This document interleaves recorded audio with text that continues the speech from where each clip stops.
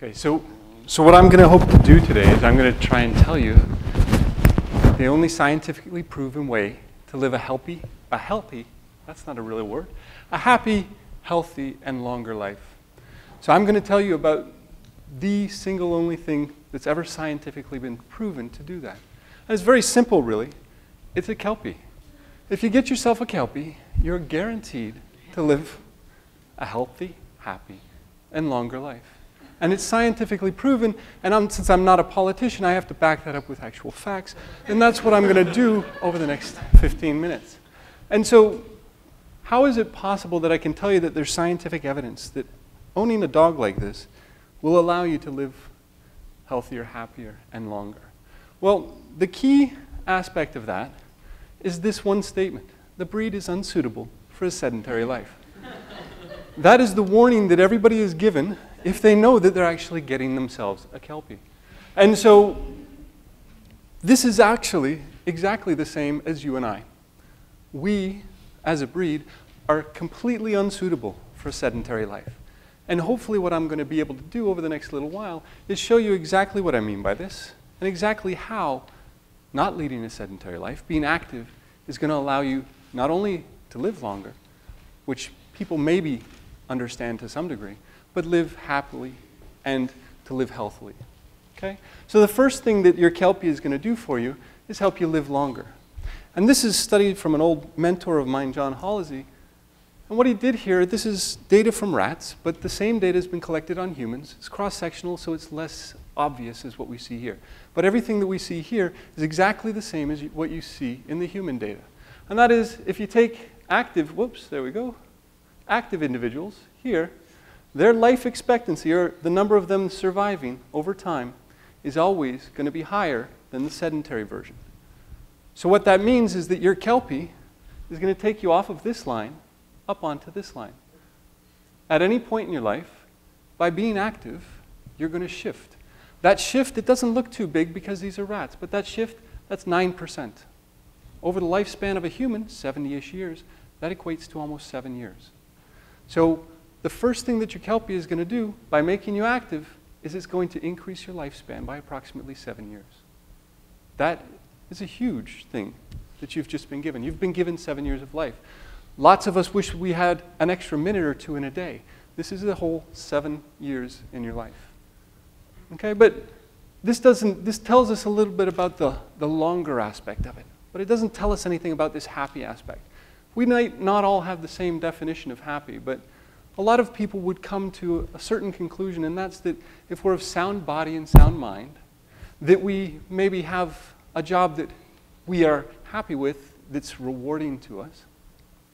And maybe that as you reach a certain age, that we're giving every possible advantage to our children. And so that's what I'm going to try and show you are the next things that, that your Kelpie is going to do for you. Because you've got a longer life, now what are you going to make of that life? Well, this is some really interesting data that was collected from a Swedish group 1.2 million boys at 18 years of age. So this was conscription for the military. And what they do, anytime you enter the military, they give you a battery of tests. A number of them are intelligence tests, some of them are fitness tests. And what they found when the researchers went back and looked at this is pretty obvious. Those who are of higher fitness were also of higher intelligence. So this could be completely coincidental. Maybe it is that the smarter people know that it's important to exercise and they exercise more. That's a general possibility. So what they did is they took a, a small subset, 16 year olds, trained them for two years, tested them before and after. What they saw, the 16 year olds were smarter at the end of the training. So their aerobic fitness increased, their intelligence increased by these measures. And this is completely linear. So the fitter you are, the more intelligent you are. I used to tell this to when I lived in the UK, and everybody immediately thought of their favorite football player, and they, oh, that can't be right. That's the first. and so that again is societal. That's sociological because once you show gift at basketball, football, one of these important sports that's going to make you millions and millions of dollars, people tell you don't worry about all of that education stuff. Focus on what you're doing. And so some of the greatest athletes that you know, everybody will say, they are the smartest. They have great intelligence on the court. And you meet them, and you're really at a loss for where this intelligence is. But it's all focused in one area. This is, again, aerobic fitness intelligence. Your Kelpie is going to take you, it's not uncommon to double your fitness if you start an exercise program. So if you look at this, if you go from about here, you go up double, you're about here, your intelligence has gone up significantly. All due to that wonderful little dog you've got. So this, talking about 18-year-olds, but the benefits actually start way, way earlier than this. Hugely earlier than this. And what I mean by that is, even before you're born, there's a beneficial effect of exercise. This is the first gift you can give to your children. So what this experiment is, this is again in animals, but the exact same data has been shown now in humans, not necessarily for the intelligence or the memory part, but for other aspects physiologically. What they've done here is they've taken a group of pregnant animals, and they've kept some of them sedentary, and they've taken the other group and they've exercised them. They've let them have their offspring, and they've allowed them to grow. Neither one of the offsprings had any access to exercise. And then what they did is they gave them learning and memory tests. And what they saw, if the mother ran, they had 25% greater learning capacity, greater memory, than if the mother was sedentary during that time. When they looked at the brains, the animals who were born to running mothers, they had 25% more neurons within the areas of the brain that were involved in creativity, learning, and memory. So the first gift that you can give your child is to be active during your pregnancy. It's the most important thing because, again, that is an opportunity where you're going to build the brain. You're going to give this offspring the opportunity to succeed to a greater level. Now, I've told you so far about the endurance aspect, so getting out there and, and, being active in general. But there's also a strength aspect because exercise is both endurance, the ability to go for a long period of time, and strength, the ability to do things and to, and to carry your weight primarily or to lift heavy objects. And it's not only the endurance exercise that it's important. This is a study that came out. This was almost 100,000 people that they did this in. They looked here they did a subset for 60 year olds. And what they did is they brought people in and they said, okay, here's a battery of tests. What we're going to do is we're going to measure your strength. And what they did is they put the group, they took the group and they put a third in the weak category, a third in the strong category, and a third in between. And then they looked, they followed them over 10 to 12 years. And over that 10 to 12 years, what happened was a number of them died, and they came back and they looked, well, how did the number of people who died, how does that correlate to whether they were strong, weak, or average.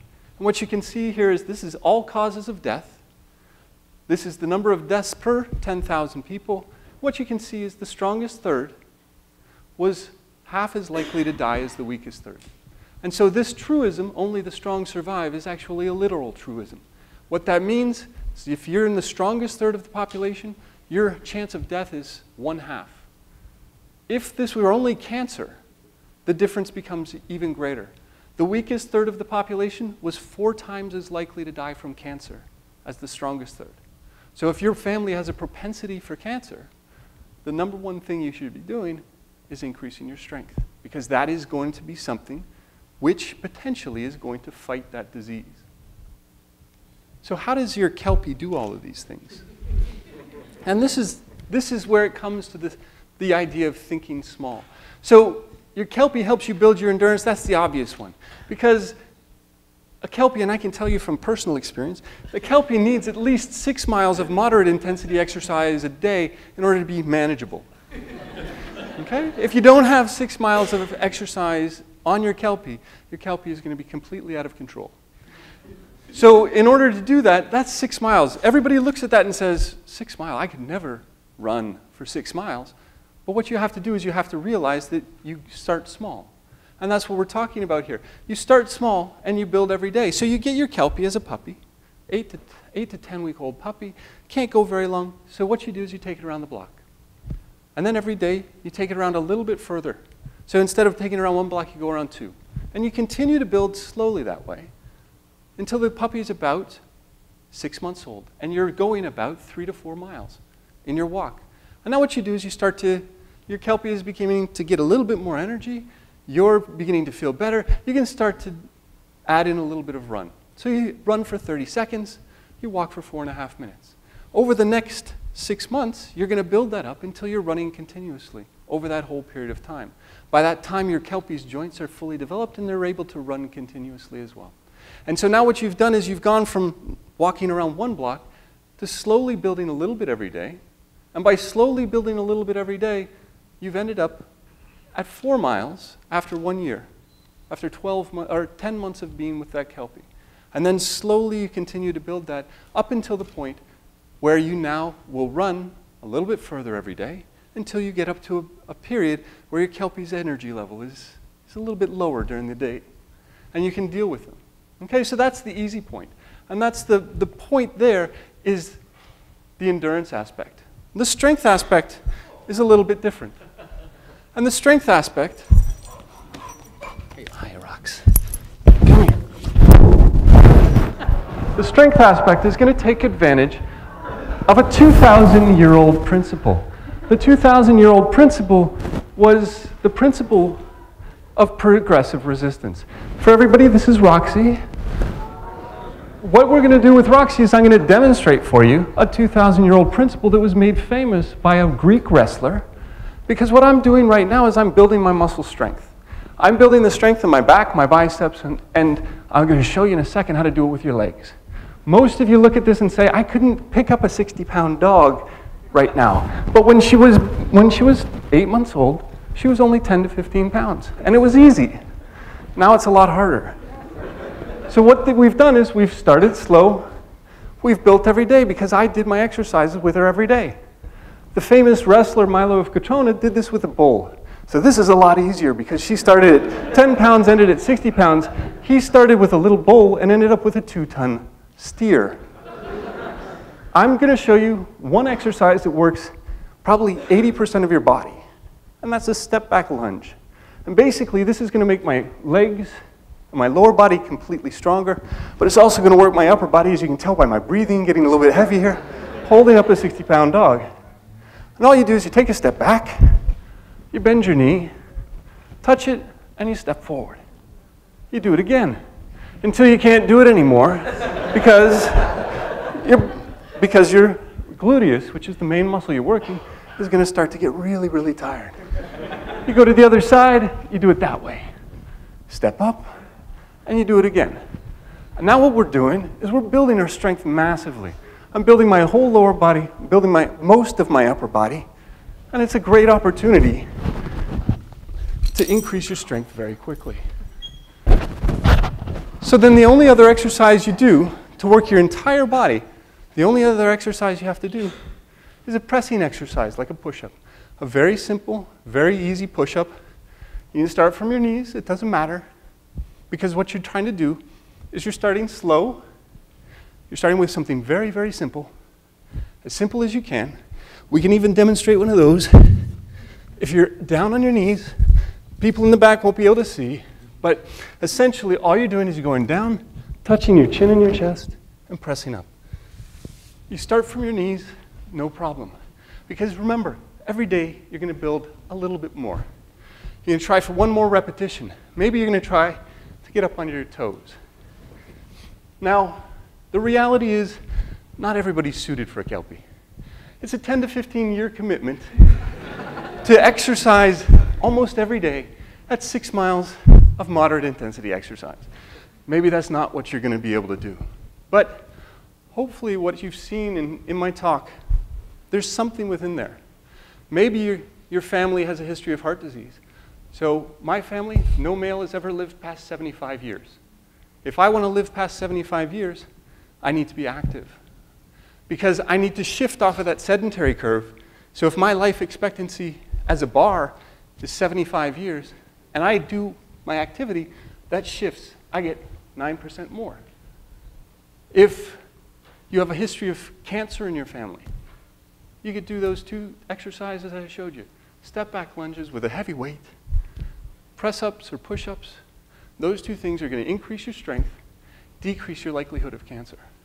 Maybe you're going to become a pregnant mother, and the first thing you want to give your child is the great opportunity. Maybe you're starting to get a job, you want to remember things, you want to have the greatest opportunity to be successful.